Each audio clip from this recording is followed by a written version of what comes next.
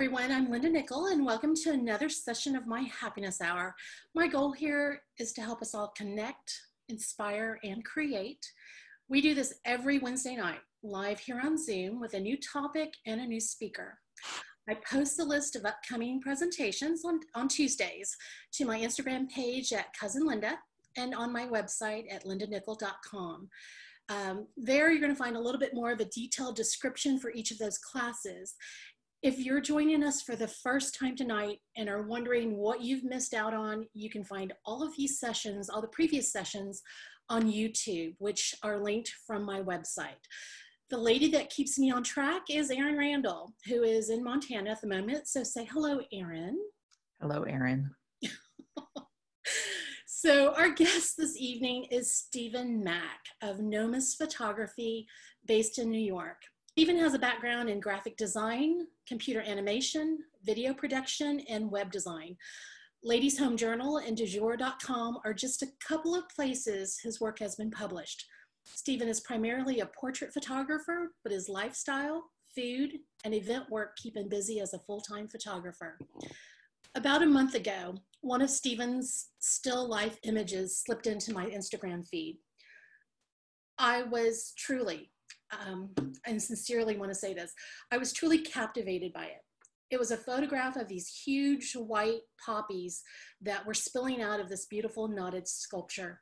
It was simply stunning. And if you haven't um, visited his website or his Instagram page, please go look for that. Um, I was compelled to invite Stephen to come out to come on and do a presentation on how he how he creates his images. And um, you know i was i was just tickled that he said sure i'll do it. And so he's going to walk us through a presentation on how he creates a still life fine art images.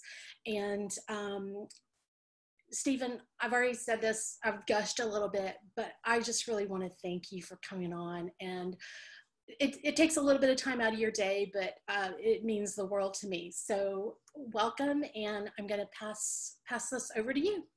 Linda, thank you so much. That was um, really a wonderful intro. Um, I actually have plenty of time on my hands, so it's it's really it's really great to be here with everybody. I think you've built a really wonderful community. It was nice to meet everybody in the beginning. And actually, Linda, you're in luck because that image that you saw is the one I'm going to go through tonight. So I'm going to take you through how I shot it, how I came up with the idea, um, how I composed it, then how I retouched it. So the we're going to start off kind of a little as an overview how I got into still life by accident uh, or by circumstance, I should say, and then um, going to take you through some different ones that I've done, the ideas behind them, and that sort of thing. And and then it's going to start a little general, and then it's going to get a little technical. And this isn't really a tutorial presentation, um, so I'm going to be moving very quickly through things. I'm going to be clicking things on and off. You're going to wonder. I mean, wait until you see my Photoshop screen. It's a little overwhelming, but uh, but if you have questions about anything, I, I will answer them feel free to jump in at any time. It's it's totally fine, and I'm happy to go back to anything that I talk about as well. Just jump right in, get started. I'm going to share my screen here, and um, again, my name is. Uh, you can see this, okay? My name is uh, Stephen Mack. I am a photographer in New York City. Although since March, I've been spending my time in upstate New York, where I have a place uh, near Hudson, which is about two hours north of the city. I have a background in graphic design, corporate branding. I've done some advertising. Uh, also, then went into doing IT consulting for a number of years, and about three years ago, left that because it was completely soul crushing. I do have one client that I still work with from time to time to become a full time photographer. So uh, I picked up a camera. I mean, I've always been using a camera, but picked up in earnest to try to make some money out of it and got into portraits and headshots, events, food, lifestyle type stuff. I mean, I'll never forget my first um, Instagram lifestyle shoot. A chef called me up and said, I need you to follow me around New York, taking pictures of me doing grocery shopping and on the subway. I'm like, but, but I don't understand why. Like, why are we doing this? And, uh, but it was a lot of fun. So um, I just enjoy taking pictures and, uh, uh, hope to make money out of it. Now, things were going really well until COVID hit, and we New York shut down early, as everybody knows. Uh, came upstate in the middle of March, and this is pretty much where I've been ever since. And I really wasn't sure what to do with my time, and I decided to start doing some still lifes. Try to what can I do in my home? And that's the title of this uh, presentation. It's Still Life in Quarantine and how to create meaning with what you have, which I kind of think is sort of poetic for this time, is sort of taking stock of what you have and what can you do with what you have uh, to transform it into something. And that's what this, this presentation is going to be. My Instagram is down there. My website is down there as well. Um, I I'm on Facebook, although I don't go on it that much. Uh, it's I find it a little overwhelming. So I'm I'm on Instagram a lot. So Instagram, my website, those are great places to email me. I love answering questions. Please reach out if you have any questions, even after this presentation. It is absolutely my pleasure.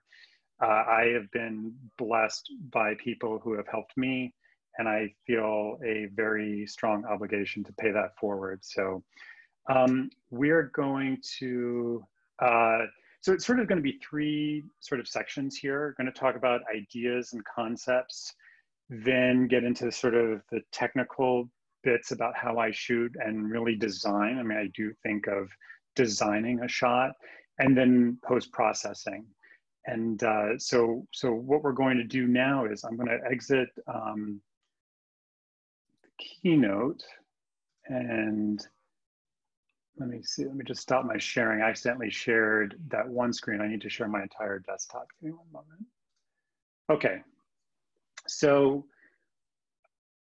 you know, the fun thing about, about uh, still lifes is you can really just take your own time. You know, if you're shooting nature, you're shooting people, you're shooting families, weddings, I don't care what it is. There's just a lot of pressure to, to get it done. You know, you've got other people to worry about. Maybe the weather is changing. And, and what's nice about still life and taking this time and what I found is I could just slow down. I could look around my home and say, well, what do I have? What could I do something with? Could I tell a story? And that's what this is about. So I highly recommend if you've never done it before, regardless of the type of photography that you do, that you give this a try. I think it, it can be really rewarding. So this image that's up right now is the first one that I did. And um, I'm actually going to stop sharing my screen so you can see me again. And I had lying around the house, I bought them years ago, these really sort of fun little ceramic pieces uh, for their little vases that I had. And I always thought they were kind of fun and goofy. And I found them at a store in New York and I thought, you know, they're kind of like little characters. And I thought, well, what if I did little scenes with them where the flowers sort of express the emotion of the um, vases in a way. And so uh, let me put this back up here.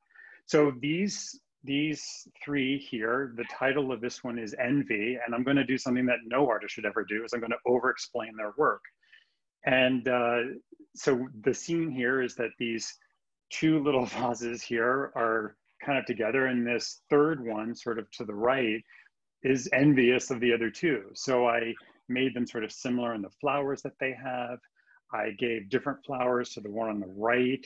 It's sort of pulling away, but wants to look back and is sort of envious or jealous. And then I even made the background green. You know, we associate green with envy. So there's a greenish tint to the background, which also makes the magenta of the flowers pop because that's its complementary color. So I'm always trying to think of, of color and, and composition uh, in, in my work. So I'm gonna just go on to the next one. This was, this was the second one that I did, and I actually did it the same evening. Um, I was in that first image, I saw those two vases together. I thought, well, it's really kind of interesting how they're so close. And then I said, well, let me just put them closer. And I looked at this, I thought, well, it's just like, it's sort of like people in love or, or two little beings in love and, and how they come together and form one. So the, the idea here is you see the two vases, you see the separation, but when they join in this way, it becomes sort of one, um, one sort of unit of the flowers, uh, which I was was really drawn to, and I thought that was that was quite nice. And then the final one in this little series uh, I called Hide and Seek, and the idea behind this is that this little guy on the right here was playing a joke, and you see this this yellow flower sort of stole a piece of the one on the left and is hiding it from him, so it's sort of in shadow. And then the kind of the expression i see in these purple magenta flowers is like you know like what? What do you mean? I didn't take anything and look none of this comes across in instagram i don't explain this in instagram this is my thinking behind the scenes about uh, what i had in mind and i feel that even though people may not get it don't see it don't really care it informs me and gets me excited about what I'm doing. And it gives me some sort of um, um, emotional connection to the piece because that's what I want to do. I want to have a little something else going on under the surface than just the image itself. So, one image I did after this, which was really popular and a little more on the nose, this was right when quarantine was in full force and I had all these beautiful tulips. I didn't really know what to do with them. And and I had this cloche also hanging around the house. I put up a beautiful Oliphant backdrop. Um, is a company in Brooklyn that makes gorgeous hand painted canvas uh, backdrops for portraits and still life and whatever. So I put that in the background. That's my dining room table and I put the cloche um, there, and, and I had just this tulip, and I was bending it, and I was steaming it so it become more flexible, and got this shot, and um, kind of sat with it. So that's really interesting, and did some work on it. And this one is titled "Trapped," and people. When I posted this, really responded to it. I think it sort of hit at the right moment. People were feeling like this, uh, that they were trapped, and uh, yeah, so then uh, let's go a little further here. One second. Um, uh, let me go the other way. Okay, so this one was actually a different idea that I had. Now, there's no particular meaning behind it or anything like that, but this this kind of leans more to the graphical side. Uh, I'm really into the symmetry of this, the contrast between the softness of the tulip and then the hardness of the what is actually i'm going to stop sharing my screen for a second just to show you it was a bookend so i had this bookend here this kind of funky brass thing and and i had the flower sort of going through it like this and i couldn't you know i was photographing it a bunch of different ways i didn't like it and i said oh, i'm just going to put it on its side and i put on its side and i stuck the tulip uh, in it like that and i said wow i think i really got something pretty there, just really striking. And um, that's uh, that's how I came up with that one. And let me just keep on going here real quick. I want to make sure we've got don't run out of time. Uh, this is another one that I did again with those same little vases, and this one's titled Distance. Again, people had to social distance, and I was thinking, well, how can I sort of convey that with flowers? And um, I used this gold backdrop. This is a gold leaf backdrop, also from Oliphant. This is very small. It's only maybe four feet by five feet or something. And uh, wanted the gold again, complementary color to the purple, really makes the purple pop. So it really gives that extra impact. And keep going. And then this is the, um, before we get to that image, I just want to talk about this one you know, not everything has to have a story. I think this image was interesting. I had no plans on doing it. I had a bunch of flowers, and this tulip was really big, white, striking. It was sort of past its peak, and it had this waxy quality to it. And I thought, wow, this is just really pretty. And I said, I just want to emphasize the beauty of it with some really wonderful lighting on this black, this is again my dining room table, this black bamboo dining room table. And I just took this shot, but I had no plan on doing it. So, so even if you can't come up with an idea, you know, for maybe a scene or something, find something that strikes you you know, and what is it about that thing that strikes you? Is it the color? Is it the texture? Is it the pattern? And how can you emphasize it? How can you really call attention so that others see the beauty that you see in it? And that's um, what I was trying to do with this one. And and this one, I, I really do plan to to print quite large. I think like five feet by four feet or something would be really quite stunning. Um, so that's what I plan on doing there. So, and then oh, finally, sorry, go ahead. Sorry, Stephen, uh, while we're here, someone's asking, how are these being lit? Do you mind answering that? Sure, I'm actually gonna, yeah, I'll talk a little bit more about the lighting in a minute. Um, this is just kind of an overview of the concepts, but, but basically I've got, I'll talk a little bit about gear because I know we're all interested in that. I shoot on a Nikon Z7. I've always been a Nikon shooter. Um, I had the D850 before the Z7. I really like to push and pull my images a lot. Uh, at the time, I don't know if it's still the same, the, the Nikon D850 had pretty much the highest dynamic range in a full frame um, DSLR. And now the Nikon Z7 pretty much has the same sensor. So I've stuck with that and I love the whole mirrorless thing. I mean, I could talk forever about that. I'm a huge gearhead, uh, and I try to stop myself from being that way. But I'm on DP review all time, all the time, reading reviews. So I have that as my camera, and then I also have two Profoto B10s. Um, that's what I have with me here upstate. Uh, most of these were shot with a three foot um, octabox with diffusion and then I would usually have a V flat or maybe uh, some sort of umbrella fill light. And I'm going to talk much more about this later, but that's typically how I light. I light in a very classic sort of Rembrandt Dutch master style with the the you know light at sort of 45 degrees up in the corner down, and then a fill behind me behind the camera. And I have some some photos I'll show. Uh, should I keep going, or is there any more questions up to this point? No, that was the only one I was seeing. Okay. All right. So, so this is the photo I'm going to talk about tonight. And um, these were, I'm sorry, Linda, these are anemones. They're not poppies. Oh, uh, I thought they were poppies. Okay, thank you. That's fine. And uh, this, uh, this photo, um, I had this really weird sort of brass sculpture thingy on a shelf I mean, literally, it was like way up high on a shelf, and I didn't know what I was going to do with it. But I thought, wow, it'd be really kind of neat if I wove some flowers through it. Maybe that's something I could do. Um, why not? And I was just waiting for the right set of uh, flowers to do that with. And I picked up these anemones that were in season. They had beautiful long stems. And I thought, you know what? This is what I'm going to try it with. So what I'm going to do now is I'm going to switch to uh, Capture One here. Now I shoot in Capture One. Um, you can use Lightroom, of course. I use Capture. I've used both.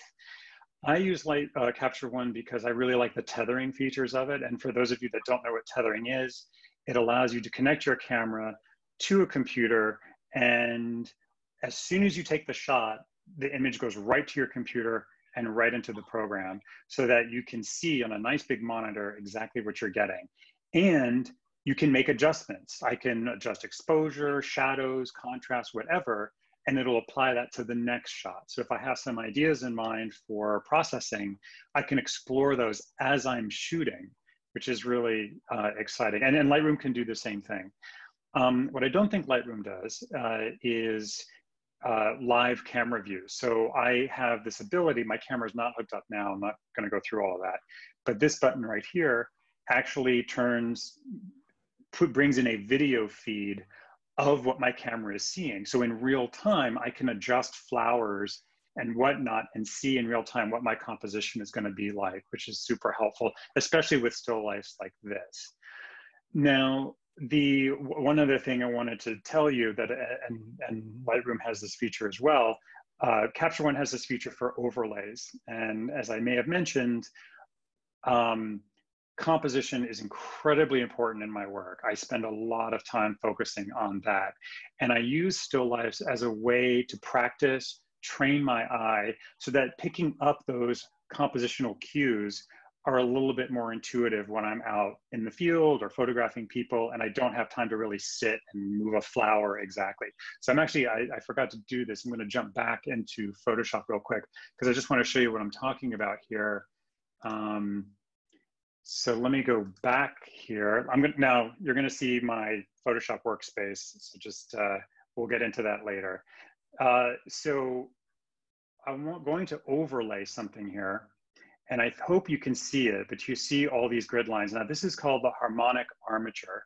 And basically it divides the, a, a rectangle into harmonics, into thirds, into quarters. And you know, we've talked about the rule of thirds. Uh, many people know that it's a very common sort of basic comp, uh, uh, compositional technique, but this is even beyond that. So this is where can you have things fall on lines? Where can you have, you know, um, significant uh, intersections of, of, uh, of, points and focus? So in this, um, you can see here, I've got these flowers lined up a bit on this line. The this line of the table, or it's actually a bench, is right at the third mark here. Uh, so I tried to split things up and have things be in different quadrants and angles and have flowers be in points of the image that are at focal at points where lines interact. And this sort of stuff is very important to me. I'm just going to show you, um, uh, not this, actually, yeah, I even did it in this one. Hold on, let me show you. So you can see, it's a little hard to see on the screen, but there's an uh, intersection here then there's this line, this triangle, the, you know, the flowers are kept in this triangle here. And all this stuff for me sort of adds to the beauty of the image and, and helps me compose something that's pleasing. And a lot of master painters um, use this technique. Uh, you can search dynamic symmetry or harmonic uh, armature online, and you'll find a lot of stuff like this, especially on Pinterest. And you'll see where people overlay lines on on old paintings, uh, uh, street photography, and and whatnot. So this is this is my time to play with this sort of thing. So I, am just showing you that. I'm going to go back to Capture One because um, what Capture One allows me to do is I can click Show, and it'll overlay this for me. So as I'm composing my shot, I can put this on top of it and see if I'm getting things just right. So I'm going to turn that off. Now, okay, so what I'm going to take you through here, and this is, I didn't realize I even had all these images. I'm going to show you how I went through lighting this scene. So this first shot is literally me with the background, with the sculpture, with a sort of a console table there, and there's no flash, there's no nothing. This is just natural light. Then I put the flash on, it was too dim. I'm not using any light meters. I honestly, really don't see a need in this day and age. Everything is what you see is what you get. And um, so I just do everything by eye.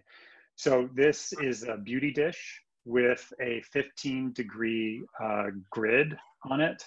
And I'm, I, have a, I have a picture of this later on that I'll show you that setup. So I just turned on the beauty dish. I played with the brightness and uh, I was, okay, is that too bright? And well, should I move it down? You know, do I like where the hot spots are? Do I like the angle? Now here, I want to show you the difference between these two. So you notice now there's this highlight here, and that is because I added a V flat to the left. So if you don't know what that is, a V flat is basically just a large piece of foam core, uh, usually white on one side and black on the other. So I put a white V flat on the left to give me a little bit of a highlight.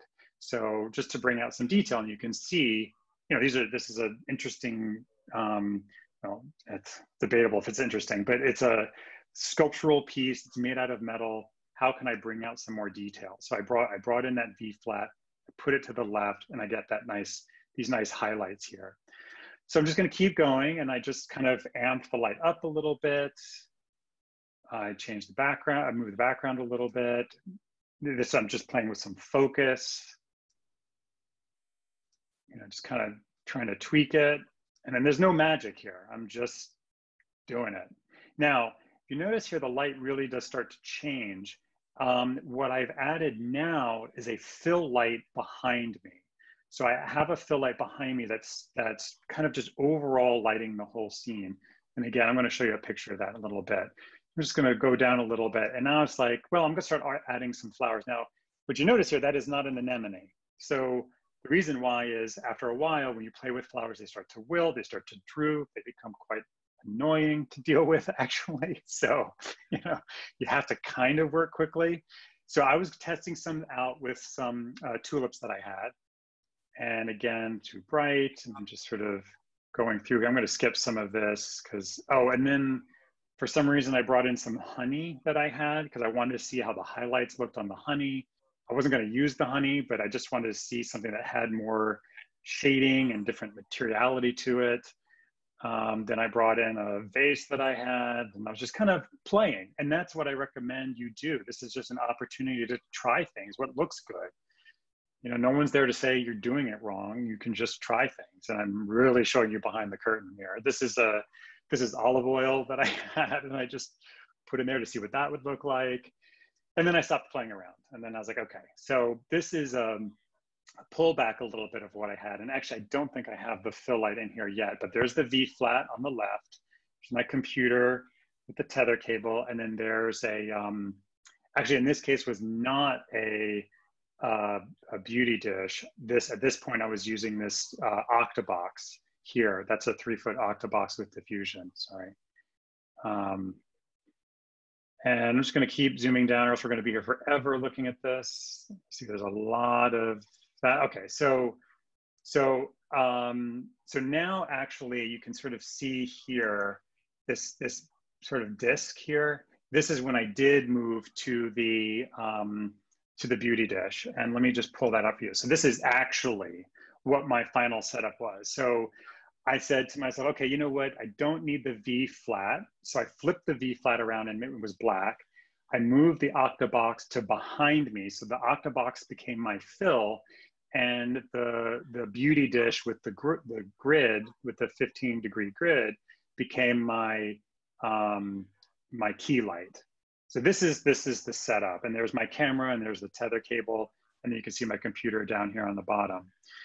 So I just want to show you that. So that's where we're going, and we're going to get there eventually. So this is um, again me kind of playing a little bit, just trying some things. Now I, I move the camera vertical because now I was ready to kind of think about composition a little bit and what I wanted to do. I Wasn't really happy with these. Again, shifting the light around. Skip all this. Okay.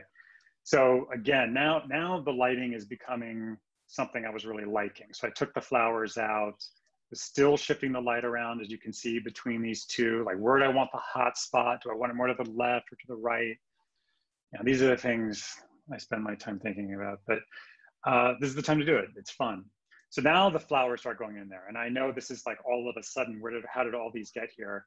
And unfortunately, what I don't have are all the little steps I did to get here because um, Capture One has a feature called uh, composition mode, I believe it's called. Yeah, composition mode right here, you can see. And what that does is it means you can take a picture, but it won't save the picture. It's not gonna just keep saving pictures to your hard drive.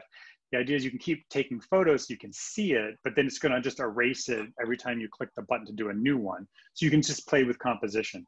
So I had done that, and then I got to this point. At this point, I was thinking, okay, I feel like I'm really close. So here's my symmetry grid up there's a lot of things I liked. Um, I liked how this flower was on the edge here. I had this one kind of centered at this intersection point, but it's super droopy. I liked where this one was going. I loved this one on the top, on the top left, how it was sort of going away from the group. And then I love this strong one here. So then as you can see, I started moving them around. This was incredibly frustrating. They would fall, they would slip. Um, just going every which way. You see them sort of moving around almost like they're dancing. And, um, and then I started to get here. And this was pretty much the final image uh, with a couple of caveats. Now, you can't see it here, but I'll show you there's, um, there's some blue here, some tape I put in. Uh, but this, this I was, this was it. I had a feeling this was it. I actually taped down this flower. You couldn't see it on the other side. I, I pushed down the stem so that the flower face would pop up. And face directly towards the camera, but I was really liking what was happening here. So now what I'm gonna show you is once, once I got this set up, notice that I'm, we're gonna get a little technical. Notice that I'm focused uh, right at the front of this flower because I'm gonna use a technique here called focus stacking. And if you're not aware of what focus stacking is, a lot of cameras have this feature built in where you take a series of images at different focal lengths and you focus at the very front and then you start, the camera automatically focuses further and further back until it hits, you know, the last thing you want in focus. And then in software, there's specialized software that will merge, you can do it manually in Photoshop, but I use something else, which I'll talk about, which will merge all those images so you have a perfectly sharp image from front to back. And this is commonly used in macro photography and in landscape photography. Uh, I'm going to get a little technical here for a second, but a lot of times people think that, oh, I'm just going to put my aperture to like f22 and then everything will be in focus. Well, fortunately, um, there's sort of a sweet spot for sharpness in a lens, and it's usually kind of in the middle um, of your aperture. If you go too far, to, to close too far down, you have a phenomenon called diffraction, which is where light actually becomes spread out through the through the aperture and you actually get blurrier images instead of sharper images. So uh, so i'm all about quality. I'm all about the biggest image i can get the sharpest image i can get when i'm doing things like still life. So that's why i do this focus stacking technique. At an aperture on my camera. I think i was using a 24 to 70 millimeter nikon um, z lens for this. And I think I was like at F. I mean, I can kind of pull it up here and show you, see what my settings were. Um, yeah, I was at F7. I think around F7, 8, 8, 9, or whatever is what's good for, for my camera is at 42 millimeters there. So this was the composition that I liked. And then I took my focus stacking set. So what you're seeing here, this is these are the images that are going to become my final image. So this front part is perfectly in focus. And then as I'm going to zoom in here, as I click in, so it might be hard to see on Zoom, but now this is in focus. And then the focus starts slowly moving back. Sorry, then moving back. And then now, now this stem is perfectly in focus and it just keeps going all the way back um, until I get to the backdrop. And I want to talk about that in a second. I'm just going to keep scrolling down here.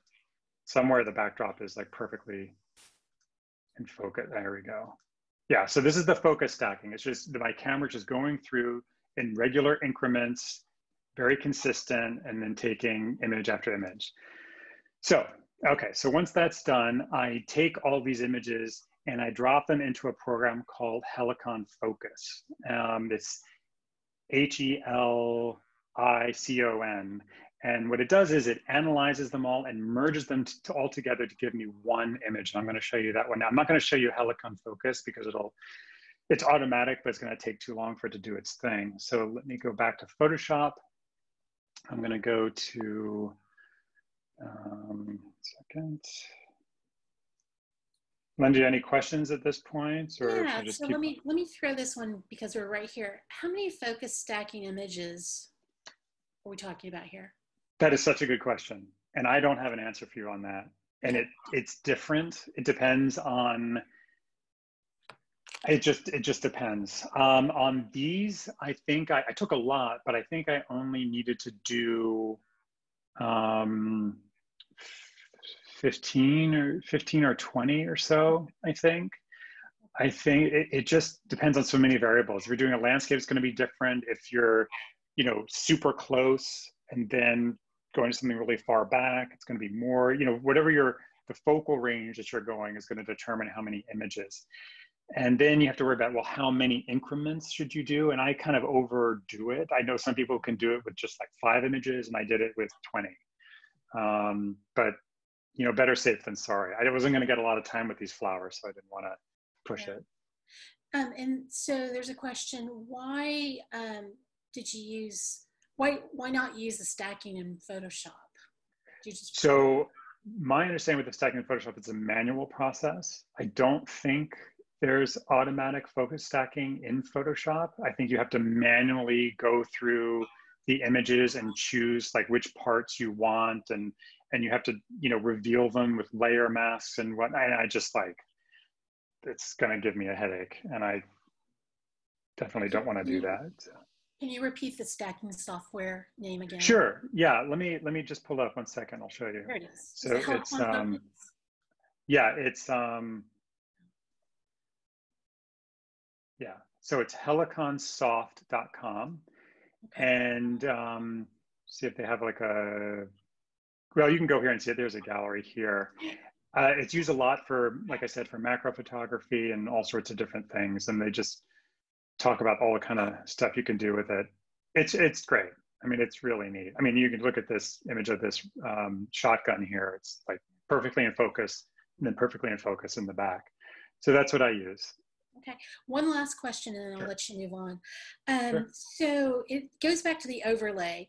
Um, can yeah. you get that overlay in real time as you're arranging the flowers? Will it show you where the power points appear? Is that uh, real time or? So sorry, can it can I sure. see it in real time? I think the, yeah, I think the question is with that overlay. Yeah. Back in I think it was Capture One. In Capture One, uh, this right here. Right. Can you get that in real time and you can see where the points are when you're putting the flowers? Absolutely. Okay. Yes. So so yes. Sorry. So I see the question. So when you use Live View here, so when I have my camera connected, and I hit Live View and I'm seeing a video of my image. I do get these lines. So I can move things into position with these lines over the video um, from the camera. Super helpful. It really is. Okay, I lied. There's one more question. Sure, um, sure. Is the focal point a set distance that you choose or is it unadjustable? Oh, such a good, wait, so you mean the focal point of the camera before I do the focus stacking? I think, let's see, is the focal point a set distance? I think he's talking about your, your subject. So yeah, no, it's not. So, so the only the important thing in focus stacking is you need to make sure you start. At least the way my Nikon works is it starts from the nearest point and then goes back, but it doesn't know what the back point is that I want to stop at. It only knows the starting position. So that's what's tricky. I never know. Like for example, on on this one, I actually go. I went too far. I'm actually past the backdrop in focus. So I actually only needed to do to like, I don't know, here or something, somewhere up here. But but you just have to kind of play with it. So you you pick the starting point, and then it's just going to go back as many steps as you tell it to. So that's the trick. That's where you don't really know how many to do. Some cameras you can set the front focus point and the back focus point, and it'll just go between those two. But unfortunately, the Nikon doesn't do that. Okay, so uh, one more question. That's fine. That's fine. The harmonic armature. I think yes. that um, somebody's a little confused. She said that she kind of missed it. She goes, the lines are an option in your camera as an extra layer. Is no, no, sorry. This this is not. Um, this is not part of any camera anything. This is a graphic. So so basically, you can make this on your own. You can make this if you have a program like Adobe Illustrator or even Photoshop. All you're doing is you're just connecting lines to all the different corners and to the midpoints of each side. That's it. So, I, so for example, if I'm just going to take this top right corner here, I'm just drawing this line to here, then I'm drawing a line to this corner, and I'm drawing a line to here. And then I do that all the way around, and it creates this. So I created this for myself in, um, um, in uh, Illustrator, and I saved it out as a uh, 1.5 vertical. That's the aspect ratio of this camera. And then I can just pull it in. And I have when I have different ones here. I have a horizontal one for when I do horizontal. I do, here's one for a four by five, uh, a 4.5 ratio image. Um, yeah, so that's, that's how, that's how it is. So this is not something that's in camera. My camera doesn't do this. This is a graphic that I, um, I put in. You created. Okay. Okay, we're yeah. good. Great. And you know what I'm I'm happy to do? I don't know.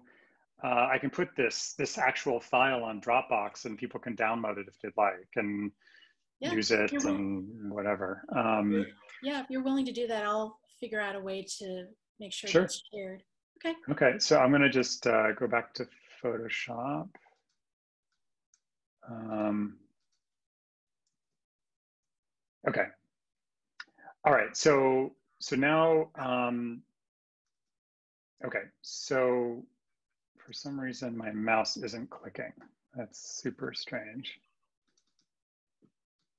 Um, hold on one moment. Let me uh, stop screen sharing. Maybe that'll. Okay. I can't stop screen sharing because my mouse doesn't work. Okay, let me try this. I'm going to switch to my Wacom tablet and see if.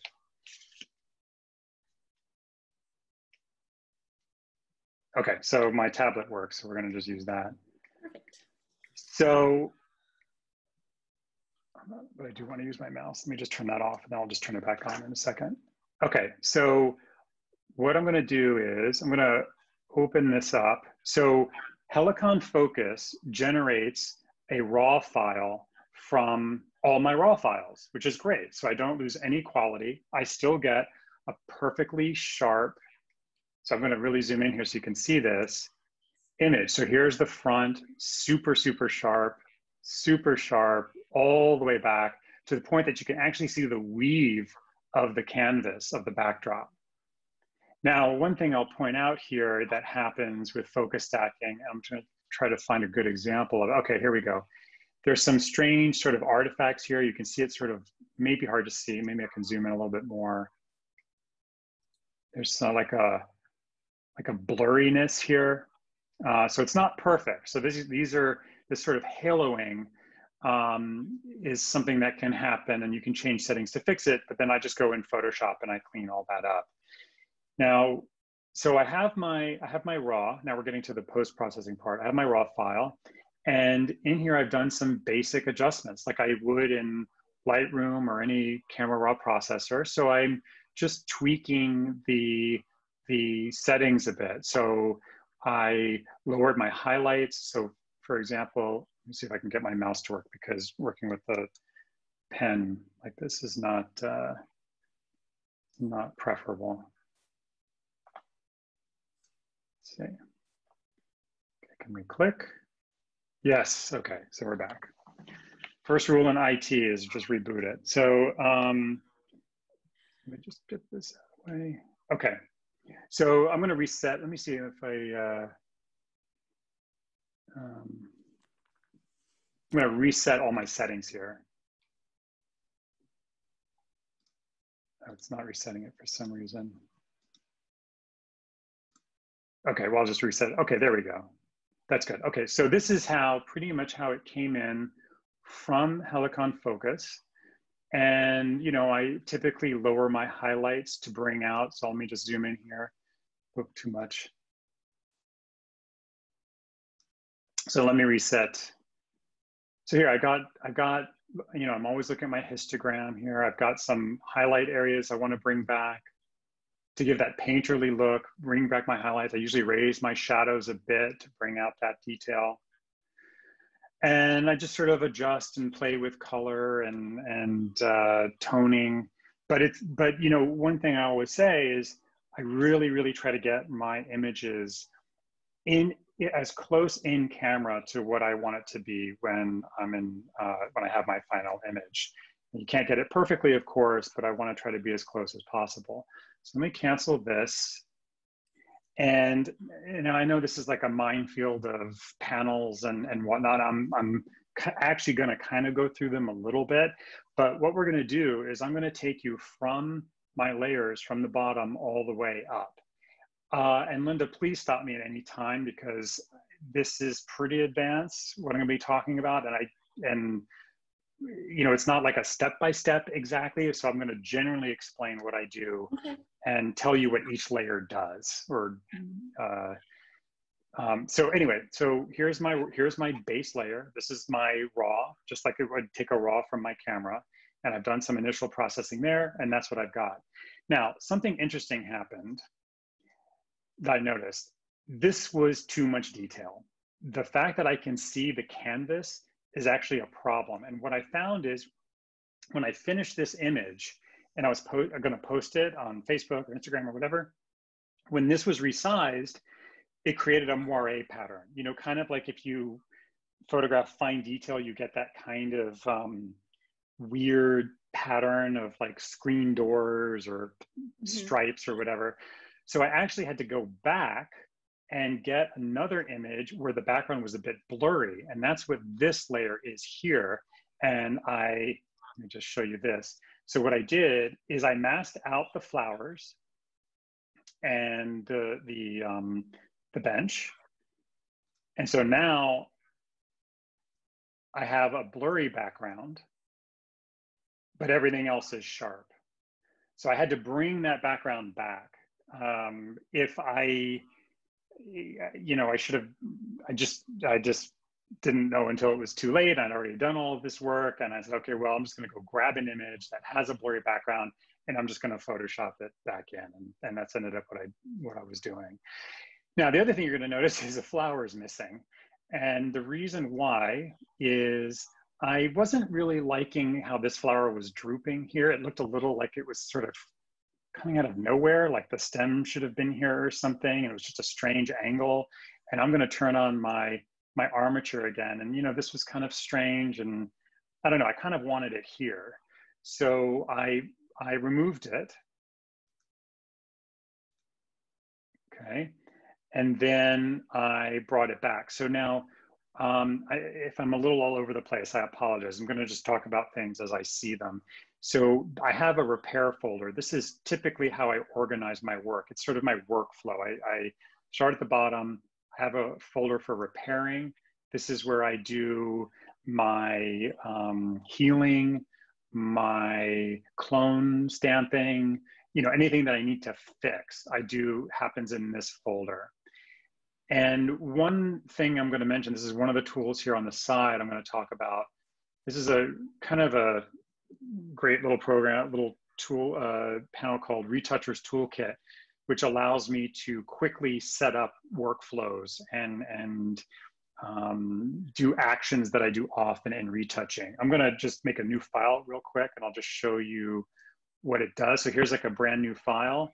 If I click folder setup, it creates all of the folders that I like to use to keep myself organized. So there's my repair folder, my dodge and burn, then this is fixing saturation, color corrections, and then color grading, which is where I do the overall look.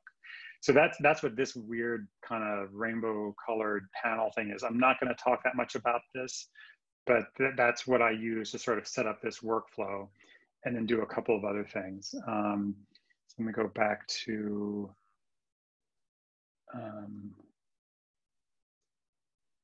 okay, is that the right one? No, that's the JPEG. Hold on, I'm going to be here forever. Okay.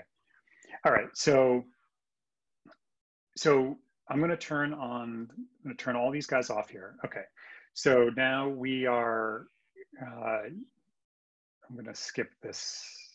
That's not worth talking about. I just did something on the petals here on the left. Okay, so I'm in my repair set. So I'm going to just start going up and turn things on so you can see what happens. So this is my far right flower.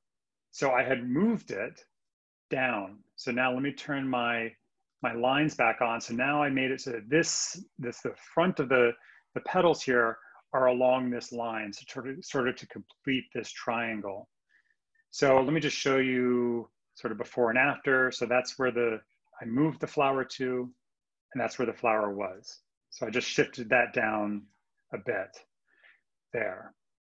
Then, uh, you know, this, this flower was a bit now closer to the bench. And if you look to the left here, there's a reflection from this flower. And I thought, you know, it might be nice to add some depth. So I added a, a bit of a reflection here. And I just took, took this left flower, flipped it in Photoshop, masked it out. That's the mask here. And uh, kind of gave it a little bit more of a anchoring in sort of space. Uh, and that's what I'm doing. Uh, foreground stem, there's this weird stem here. I, I don't know what this just looked like it was kind of sad. Uh, so I removed that with a bunch of um, um, sort of healing and cloning and so on. And again, I'll go through all this. And if anybody wants to me to go back to any particular step, I certainly can. And then I had to remove this uh, blue tape. So that's this layer here. So now the blue tape goes away. And then I have a general repair layer. And this is where I'm just kind of fixing things all over the image. So I'm gonna turn this on and off. So, so you can see these um, sort of little smudges and things I get rid of. Um, I think there was some, yeah, this weird brown. This here's some scotch tape I had that I was fixing, holding the flowers to the sculpture. So let's see, let's, uh, yeah. So I fixed all that. Little fuzz or a hair or something there, got rid of, you know, standard type stuff. And so now I've got, you know, with my, my repair layer, things are looking really nice. I've gotten rid of blemishes and such. And then floor, I'm trying to see what I was doing here. Let me see. Oh, okay, yes. So this was a, um,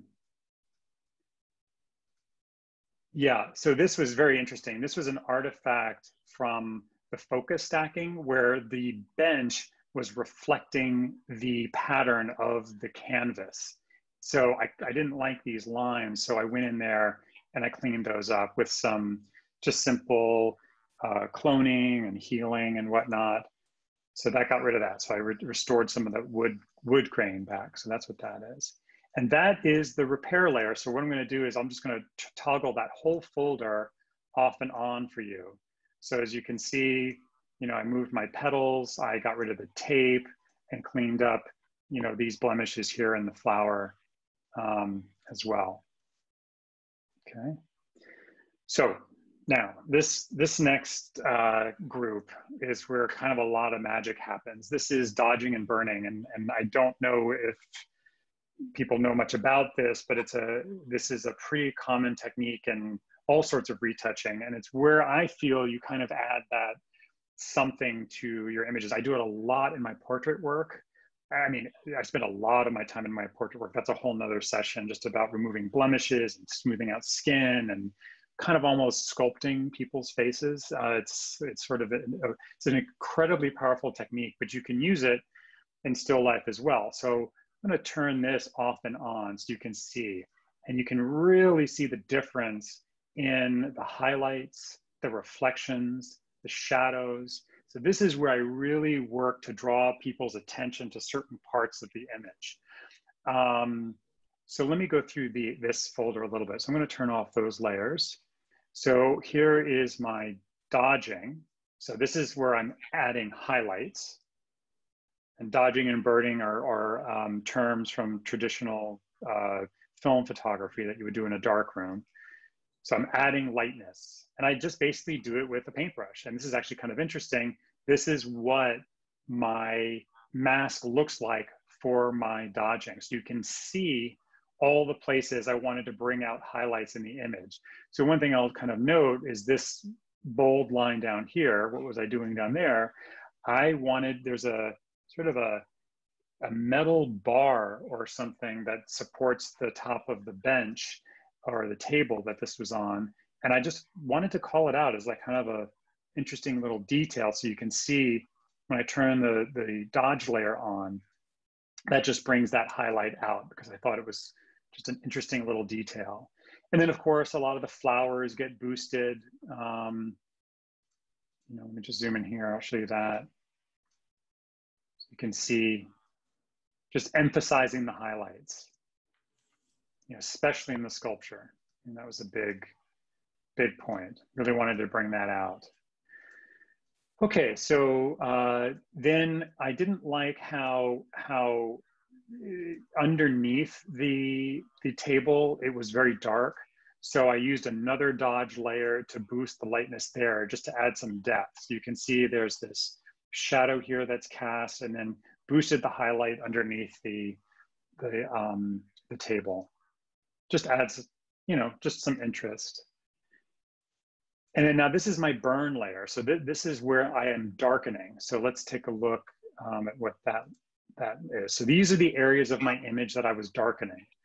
And as you can see, it's a little subtler, but you can see I wanted to kind of increase some contrast in there. So I just painted in um, some shading. You know, I thought these flowers were too bright, so I shaded those up a bit. I mean, you're, you're basically painting. I mean, you're, you're using your photo as a, as a base layer to paint on.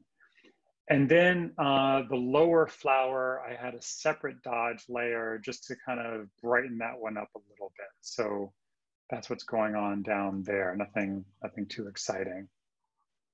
Um, so I'm going to turn this off. This is the entire dodge and burn layer or group, and you can see what's going on there. All right. So I don't think I have, oh yeah, okay, so I do. So I do have some areas where I worked on some saturation and color. Now, one of the things that bothered me about this image was the, the table and the sculpture are very similar in color. And I, I wanted to to have better contrast in color between the sculpture and the table. So what I did in this layer is I muted the color of the wood a bit. So, and then I actually enhanced some of the vibrancy of the brass to bring out that color. So now you're really focused on just the, the centerpiece. So I, it's, it's pretty dramatic. I mean, you know, the, the, the table is this sort of wood orange and I just brought that down. So let me just show you that layer by layer. So this is a vibrancy uh, mask layer.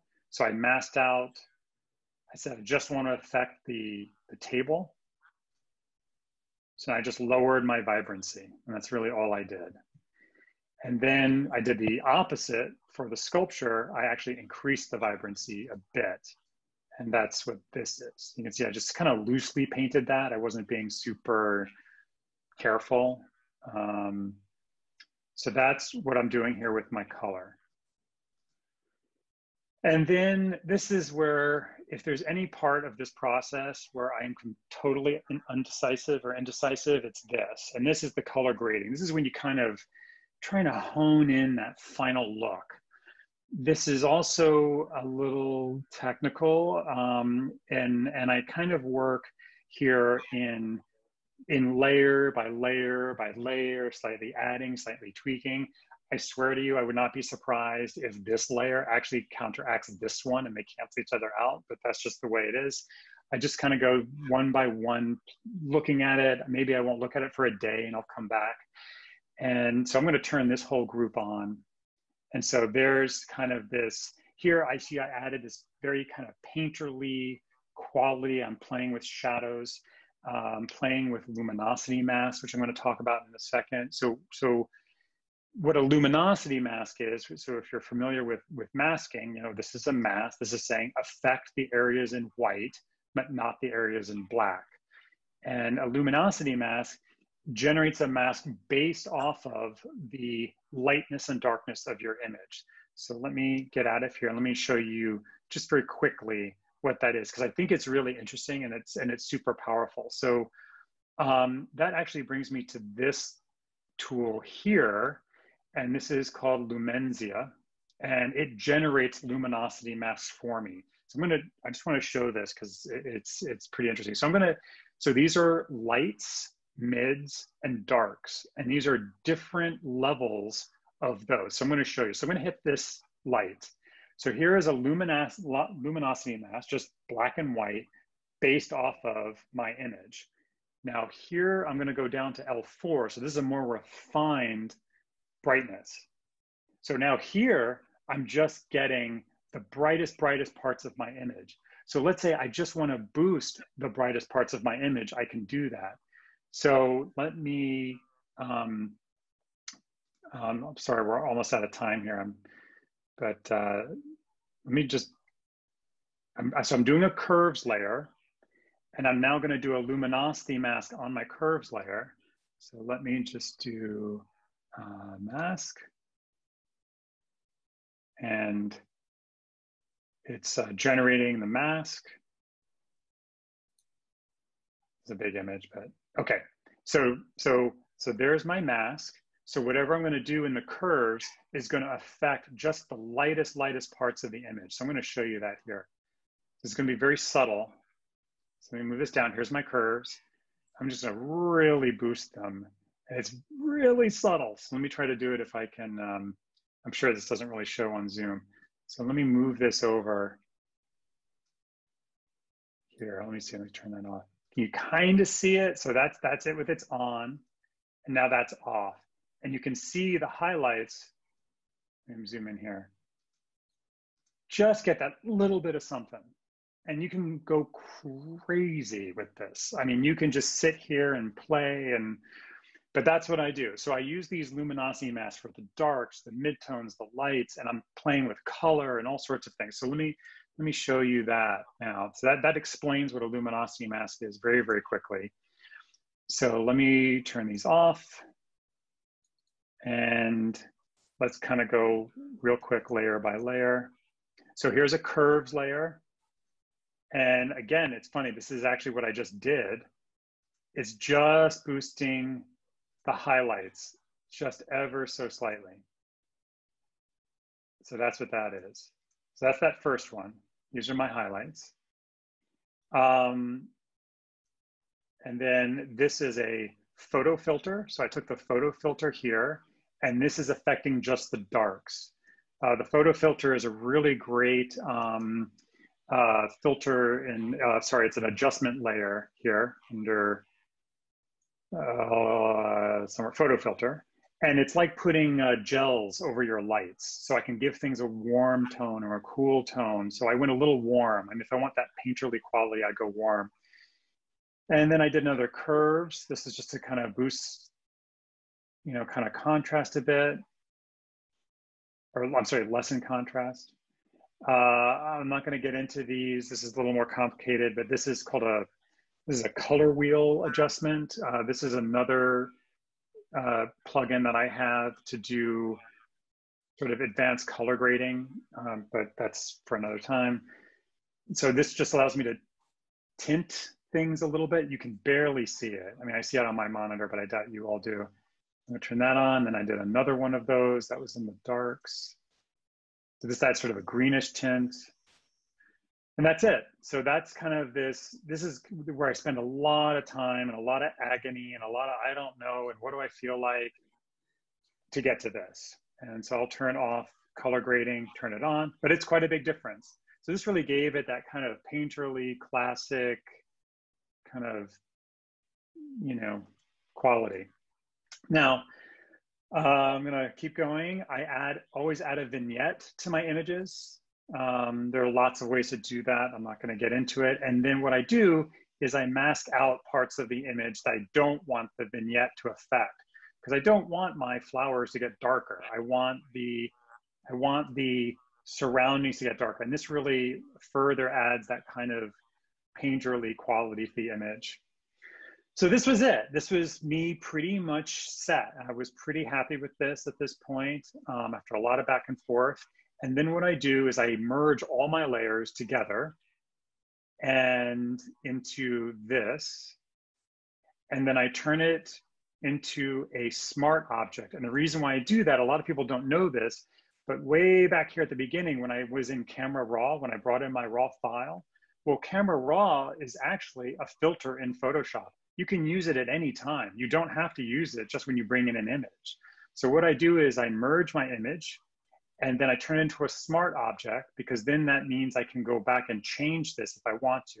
If I do camera raw on a normal layer, it is a destructive process, meaning I cannot go back and change it after I've done it.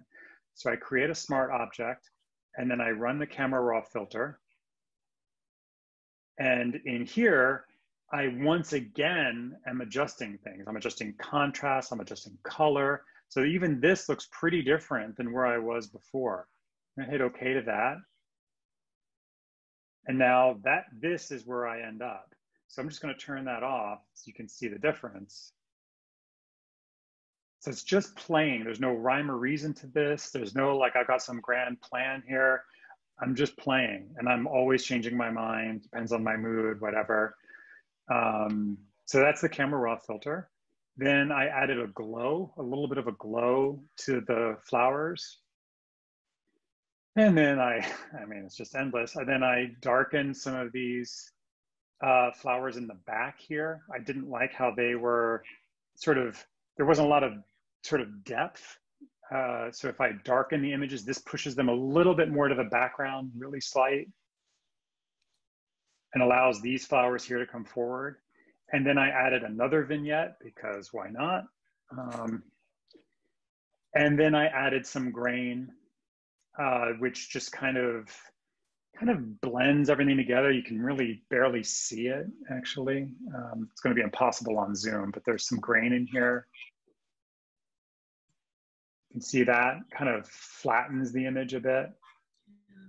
And that is it. That is incredible. So the question is, yeah, about how long did it take you to create this photo from start to finish? Oh, that's a great question. I would say, um, I, I, had to put it in terms of actual working time because uh, there was just gaps in between. I would say maybe a day. Maybe I would say the shooting took about 45 minutes uh, to kind of set up the flowers and do that. And then this is the part where I just I'll spend forever on this. I mean, really. Um, the day part, uh, is that just your editing? Is that day? So, oh yeah, yes, exactly. Yeah, yeah. Okay. yeah. I mean, the, the, the the shooting is the shortest part of the whole thing. I mean, it, it really is. So uh, there's a question, and, and she may have missed that you're you're actually in New York. So she wants to know yeah. where do you get your flowers? Oh, there's a fantastic. Um, so if you go to my Instagram, I always credit where I get things from. So this is from Tiny Hearts Farm. They're a fantastic organic uh, little uh, floral farm here in uh, near me in Hillsdale, New York, and they're great. And I know the owner really well. She actually did my wedding, and uh, so I would do these pickups from her every week. I never knew what I was going to get, and that's that's where I got the flowers from. So I'm skimming through here just to see if there's any big questions. Uh, so somebody did ask, uh, do you calibrate your screen for color? I do. Mm-hmm. It is super, super, super important. I cannot, uh, you know, I'm just gonna stop sharing for a second. I use a, um, I use a little um, i1 color. Uh, this is a iDisplay, i1 Display Plus. Uh, you know, Absolutely. Okay. I think I've covered all the questions. Um, you generated a whole lot of comments, a lot of amazing, a lot of, I told you guys he's great. So um, I'm going to save this chat because I want you to be able to go back and look at it. Sure. There's just, it's just a lot of appreci- appreciation for the work you you spent on these images. Oh, thank you. And this is so very different from stuff that I do. And I, I think a lot of people are just super excited about um, learning something new. And what was really, the word fascinating was used a couple of times, is you're showing them behind the scenes you know yeah. you're you know people don't really like to show their messy edits and all the all the oh. stuff they go through. And Listen, this, this is helpful. Linda, I tell this everybody. No one was born knowing how to do this. Well, no one. Yeah, uh, but you know, a lot of people don't share that, and so this was yeah. kind of fun for for me. I don't do a lot of of Photoshop, and now I know why. There's a lot of stuff you have to do, and a lot of stuff you yeah. have to know, and I don't know any of it. But um, this is just absolutely. I mean, I, there's no other word. I was I was giddy to have you come on and i'm super just excited that you know you you went through this and um, for me personally that was the image that stopped me when i was scrolling through my feed because you weren't somebody i was following you just kind of came into my feed because instagram thought you might like this and i did and i, I very rarely hit those you know pictures i don't know who that is and i immediately you know the story. I immediately sent you a message and said, "Would you do this?" And um, you know, it, it, just I'm tickled, and I, I'm so appreciative. And this is absolutely generous of you for coming on. Guys, what you don't know is we had another speaker planned for tonight, and Douglas Stratton um, is a travel photographer, and he had a family emergency. And so I believe it was Monday, and I'm like, uh oh, what am I going to do? Yeah. And, and Stephen had said, you know, when I talked to him, uh, we had scheduled him for next year.